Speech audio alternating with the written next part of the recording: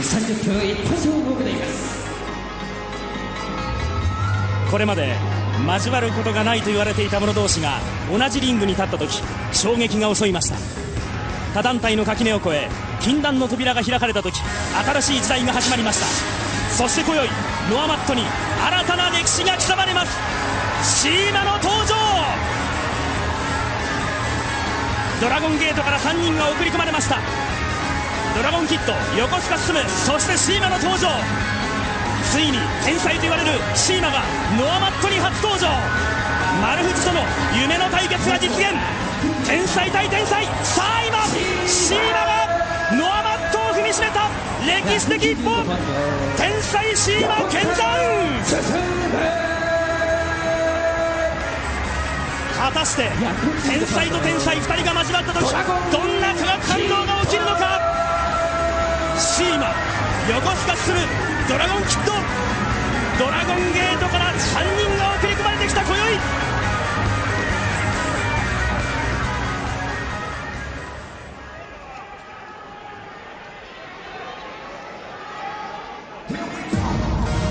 ノア・ジュニアは最強です。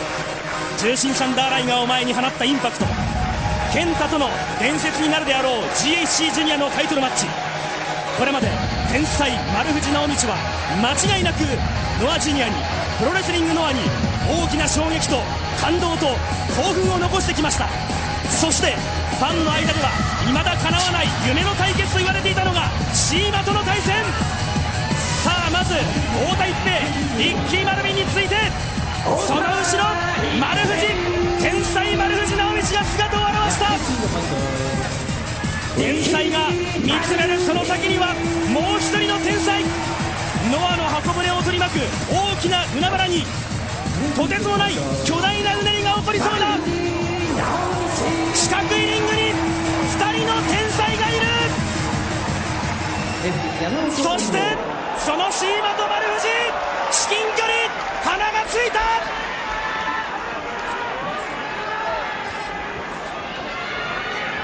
歴史となるであろう今宵の一戦。交わることがこれまではないと言われていた。そしてファンの間でも夢のカードと言われていた。ジュニアの天才同士。この 6m 四方の緑のノアのマットに今天才2人が立っている。先発はドラゴンゲート側横須賀進そしてノアサイドは太田が行くか。太田だ。第5試合特別試合。6人タッグ30分の一本勝負。プロレスリングノア VS ドラゴンゲート。そしてその中に天才2人の対決丸藤直道対シーマ。今横須賀とそして太田。先発の2人まず太田の腕を取っていった横須賀進。その横須賀を倒していきました太田一平です。去年12月28日ドラゴンゲート後楽園ホール大会にムシキンギテリーとリッキー・マルビンが出向いたことで接点が生まれたプロレスリングノアとドラゴンゲート。先ツアー開幕戦ではドラゴンゲートがノアマット初参戦。今ツアーでも4月ツアー新潟大会に土井と吉野が乗り込んできて健太と太田組と対戦している。すっと離れました。この辺りはまず横須賀そして太田。相手の動きそしてそのファイトを確かめようというところ。さあドラゴンキッドと今度はリッキー・マルビン。どんな空中戦が待っているんだ。組み合った。もう速くなっている。スピードはここでも速くなってきている。飛んでいこうというところ。久しき。膝で捉えておいて。かわしたかわしたぞ。足を取る。距離を取る。スッと速かった。かわして。くる。2回転3回転4回転していくそして距離を飛んで飛んでいくかこの辺はよく見ていたよく見ていました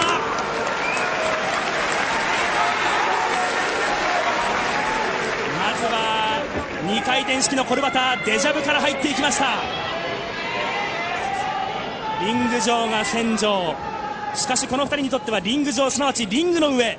空中も。さあここでシーマとまずタッチが交わされたそれに対して丸藤は手を挙げているシーマと丸藤リングイン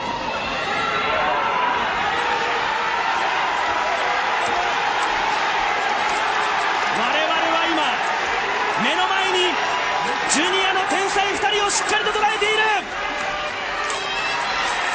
武道館の雰囲気を四方を見渡しながら確かめる。シーマ一方ホームでもあるこの武道館。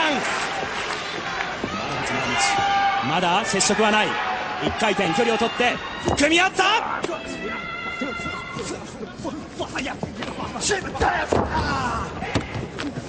背中から当たる。またいでいく。飛び越した。もう一度後ろから。ドロップキック。先制攻撃はシーマーまず最初に技を仕掛けたシーマーそれに対して足元をすくった。テクはかわした。両者のドロップキック。1回転。こ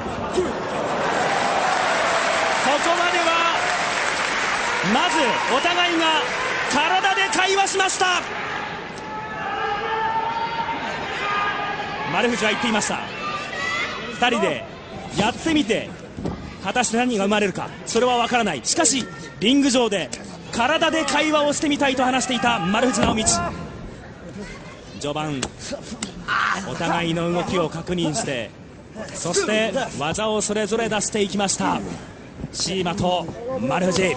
赤コーナーサイドにシーマを。連れてきて太田へとタッチが交わされました。果たして天才同士の化学反応はこれからどんなものがこのリング上で生まれてくるのか。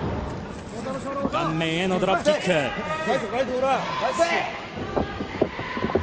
シーマがまず太田一平を捉えてさあエプロンから。1回転。何が一平じゃ相手を挑発する。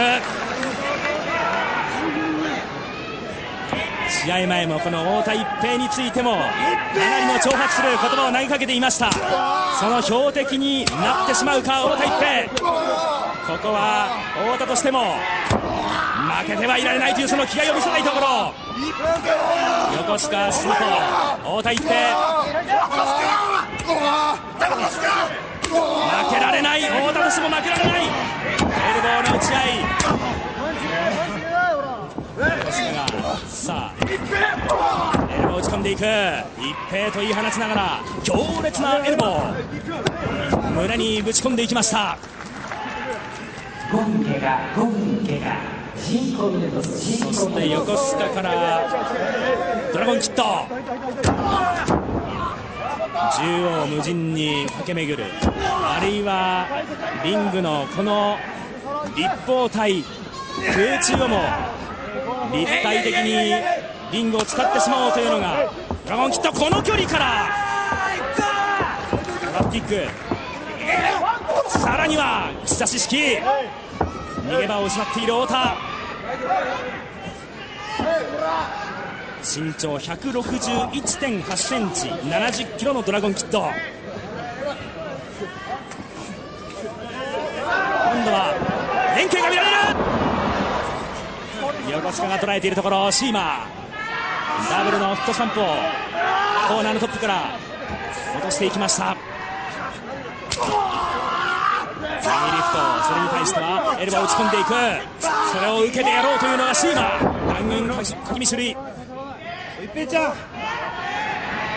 一平ちゃんお前はカップ焼きそばかこら。ことごとくこのノアジュニアの若手である太田を挑発しまくるこのリング上。このシーマの目にはあるいは意識の中には丸藤という大きな存在がおそらくあるはずです。その丸藤に対して指をさしておいて太田を徹底的に攻めていこうというところ。両方からサンドイッチ式。